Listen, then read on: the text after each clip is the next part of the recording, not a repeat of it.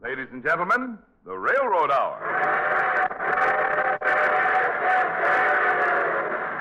And here comes our star studded show train.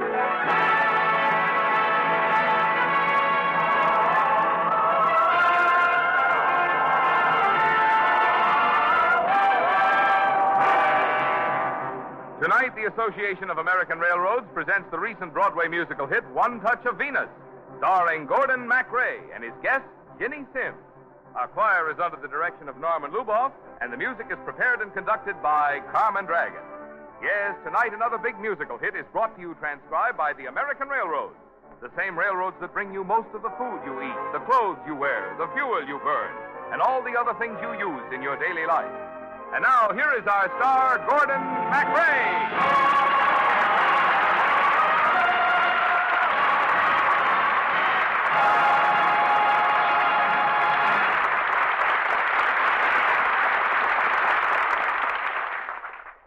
Marvin Miller, and good evening, ladies and gentlemen. Well, in tonight's story, the part of Venus will be played by Miss Music herself, Ginny Simms. And I'm Rodney the Barber, who tells you what it's like to know one touch of Venus.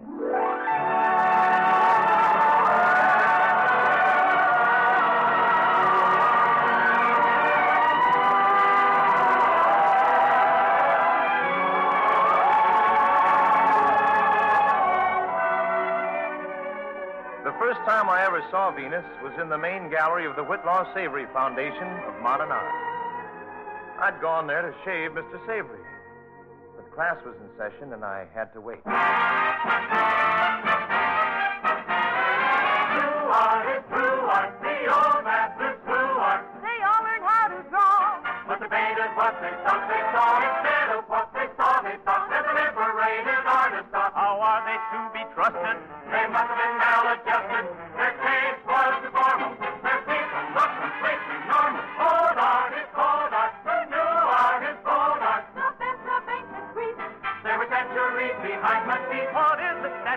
Forget?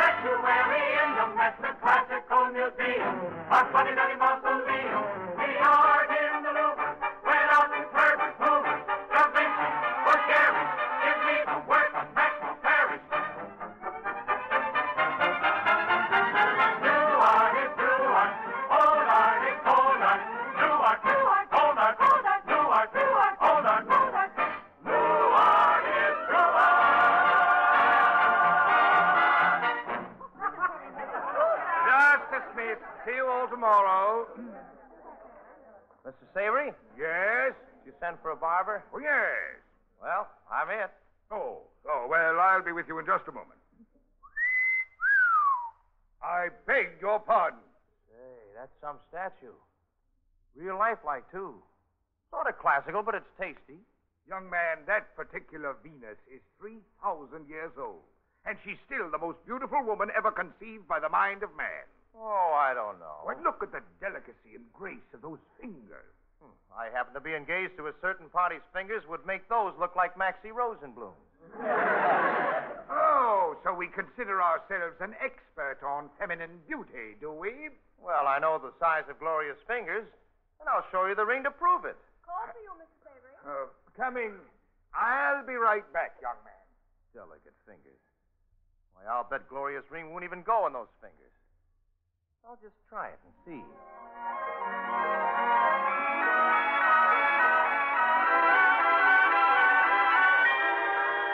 Holy smoke! It's moving. I'm not only moving, I'm waking up. Who are you? What? Come closer. Let me look at you. Now, lady, lady, I'm only the barber. And would you mind giving me back that ring? The ring? Of course. That's what they said would make me a woman again. You can't keep that ring. Do not deny me, Barber. I've been waiting 3,000 years. You've awakened me with your ring. You're my love. I'm not your love. I'm Rodney Hatch. And I'm engaged to Gloria Kramer and what did you say your name was? Rodney Hatch. Rodney Hatch. Venus Hatch. Oh, don't, lady, please. I told you I was engaged. Of course, Gloria's mad at me right now, but we're going to make up, and I've got to have that ring. Tell me about Gloria. Huh? Tell me all about Gloria. Well, she's. Well, anyway, I love her. I had a love, and my love was fair. Fair as a summer's dawn. I lost my love, I never know where. Suddenly she was gone. The west wind stirred the meadow. The night she slipped away. And I seem to glimpse her shadow when the west wind rushes the day. Oh, west wind, can you waken my true love?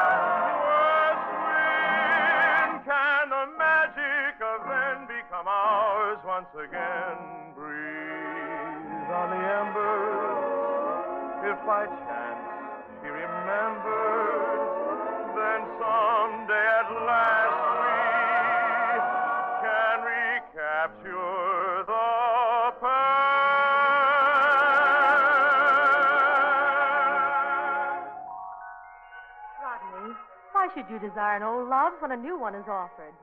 Why do you want Gloria when you can have Venus? Oh, no, no, no. see here, you, you keep away from me. Rodney? I've got to get out of here. He's gone. Why should a man awaken you and then walk out on you? No man has walked out on me since I was born, 3,000 years ago. Hmm. I don't look 3,000 years old, do I? Oh, of course I don't. No man has walked out on me since I was born 2,900 years ago. And if Rodney Hatch thinks he's going to get away with it, he's very much mistaken. I think. I hope. Will you tell me how these things happen? Have I trusted in love too much? When did the magic vanish? Have I somehow lost my touch?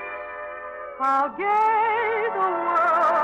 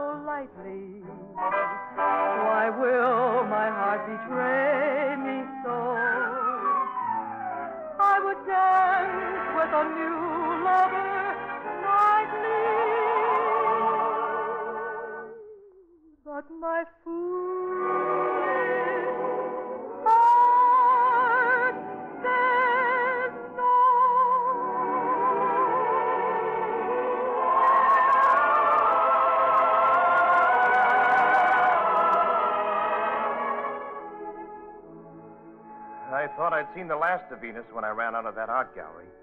And believe me, I had to run because I knew if I didn't that I was liable to to, to, to let her keep Gloria's ring. Well, I, I got home and I was phoning Gloria when.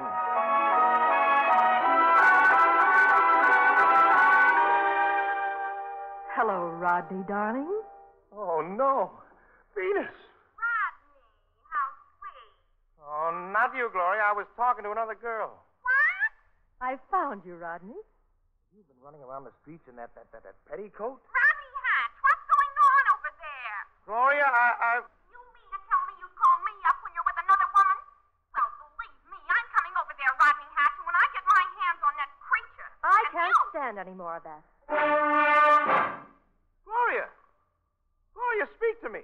She can't. I've silenced her. Oh, why did you do it? Rodney, look into my eyes. You don't mind, I'm a little busy right now. I was just leaving. Rodney. Rodney. Some other time. I'd love to, but I. Rodney.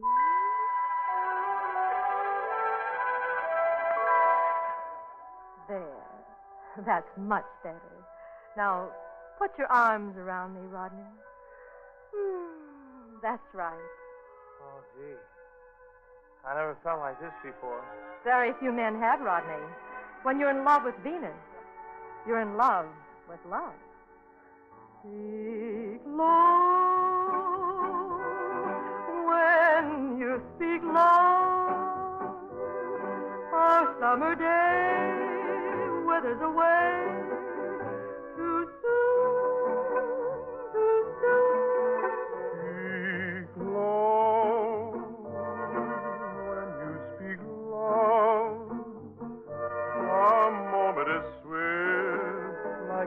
adrift. We're swept apart too soon. Speak low, darling, speak low. Love is a spark lost in the dark.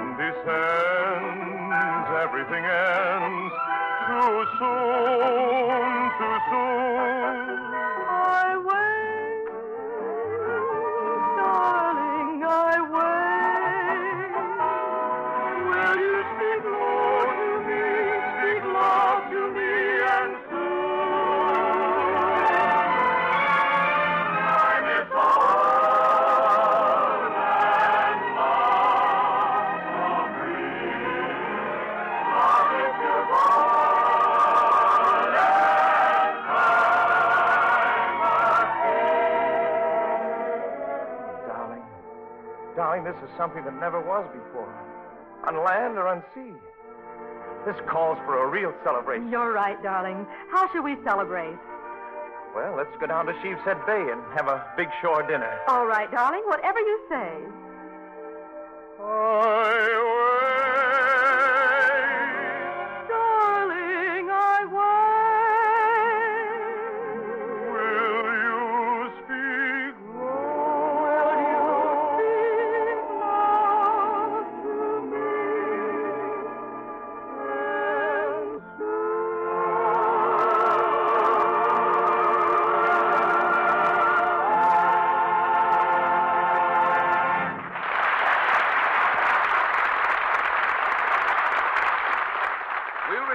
Second act of One Touch of Venus in just a moment.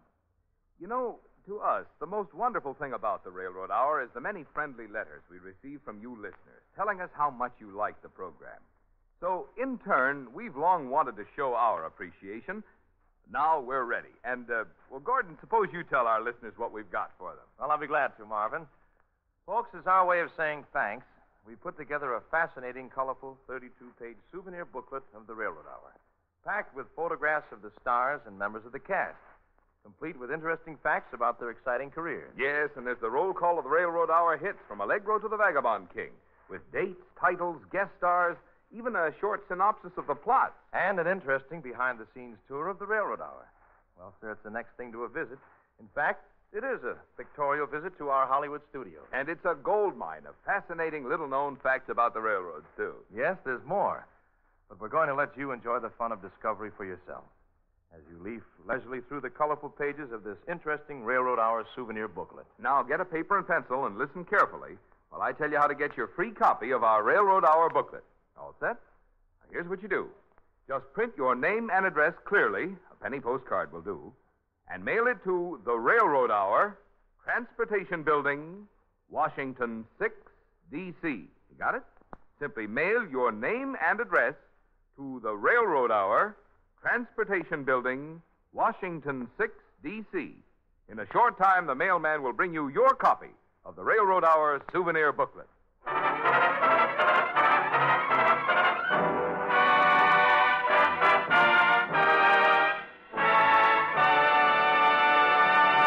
And now here is the second act of One Touch of Venus, starring Gordon MacRae and his guest, Ginny Simms.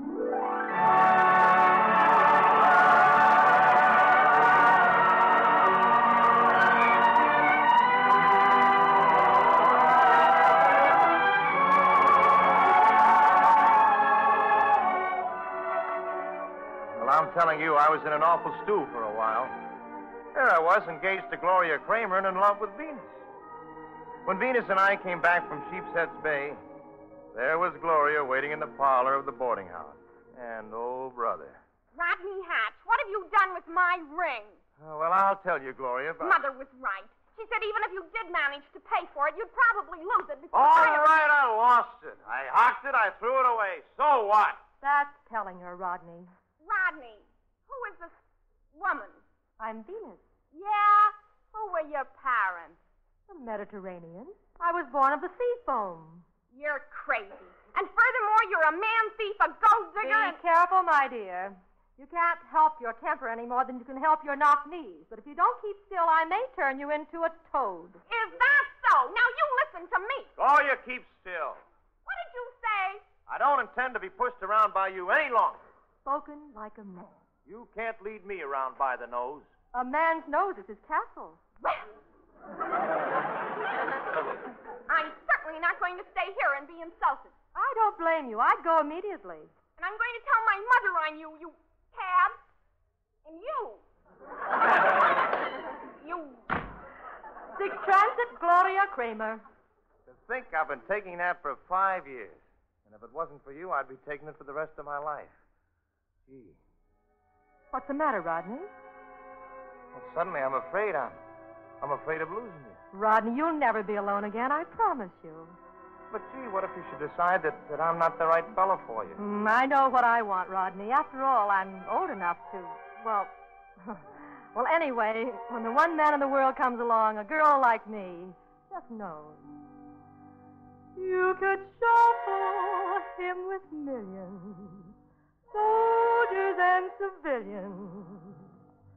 I'd pick him out in the darkest caves and hallways. I would know him always, beyond a doubt. Identifications come easily to me because that's he. You know the way I feel when there is autumn in the air. That's him. That's him. The way you feel when Antoine has finished with your hair. That's him. That's him. You know the way you feel when you smell bread baking. The way you feel when suddenly a tube stops aching. Wonderful world, wonderful you. That's him. That's him. He is as simple as a swell in summer. Not arty, not actory. He's like a plumber when you need a plumber. He's satisfactory. You know the way you feel when you want to knock on wood. The way you feel when your heart is gone for good. Wonderful world,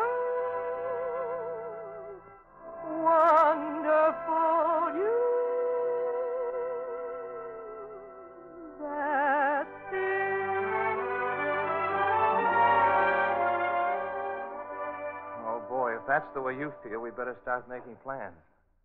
You ever hear of Ozone Heights? No, what are they? Well, it's a great big new real estate development over on Staten Island. Every bungalow's just the same. They all got an electric incinerator, a radio that looks like a fireplace, and a fireplace that looks like a radio. And when you sign the lease, you get a year's subscription to a magazine. Oh, Rodney, you're sweet. You're exciting. You're wonderful. Jeepers creepers, if I love you this much now, just think how I'll love you in five years. Waiting for our wooden wedding. Golly, how the birds will sing while we whistle in the garden, planting onions in the spring. Waiting for our wooden wedding. Golly, how the bees will buzz, spreading pollen on the flowers. Can do what a bee can do. You shall have on every anniversary a present you can pay for later. Maybe a tenant for nursery or a shelf adjusting incinerator. Waiting for our wooden wedding. Golly, what a trail we'll leave Sipping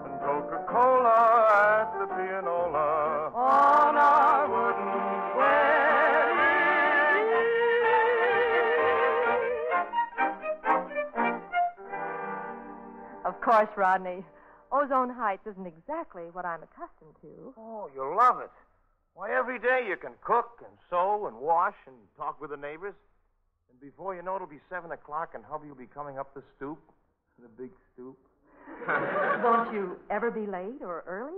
Oh, no, sirree. I'm as punctual as clockwork. I like everything on the dot.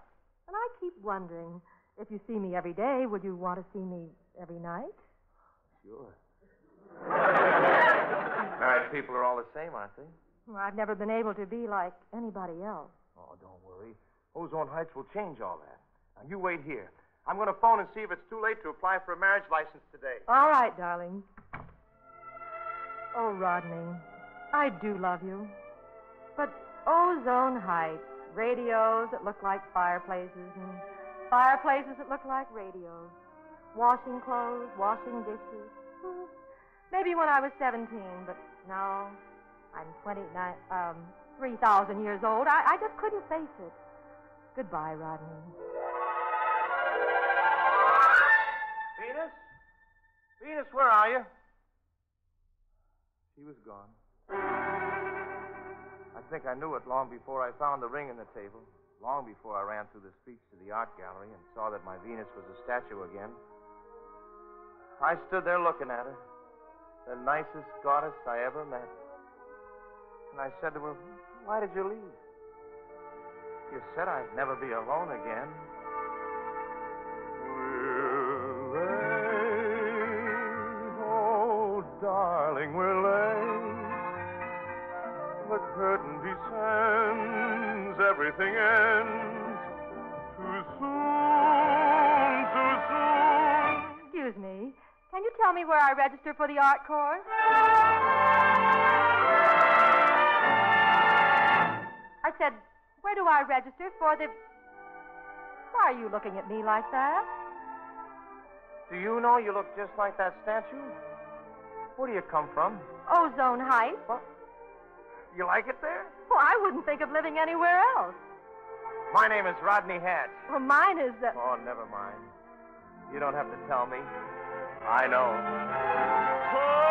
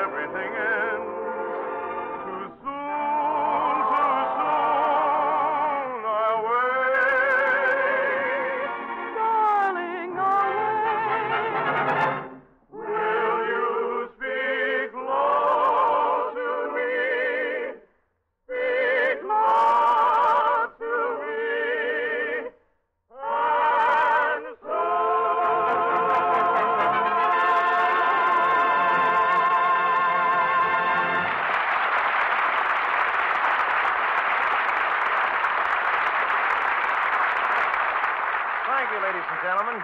Ginny Simms will be back in just a moment. Thanks to Marvin Miller, Donna Hayner, and our entire company. One Touch of Venus with music by Kurt Weill and book and lyrics by Ogden Nash and S.J. Perelman was adapted for the Railroad Hour by Jean Holloway. The Railroad Hour is brought to you each week at this time by the American Railroad. Folks, you've thanked us in thousands of friendly letters for the music heard on the Railroad Hour. And now we want to thank you for your interest and kindness. That's why we put together an attractive Railroad Hour souvenir booklet with 32 pages packed with pictures and sketches from the life stories of your favorite Railroad Hour stars and members of the cast.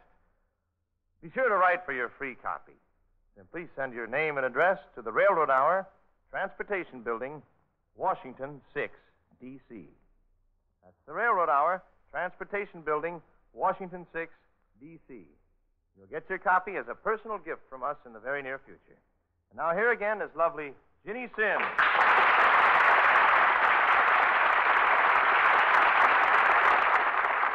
Gordon, I want to congratulate you. I understand the readers of Radio Television Mirror magazine voted the Railroad Hour their favorite radio musical program. Well, that's right, Ginny.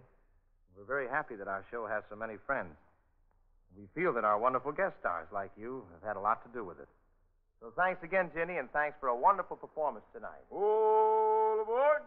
Folks, next Monday we're doing something we think you'll want to hear.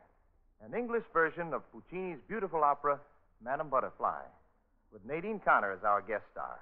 Until next week, this is Gordon MacRae saying goodbye.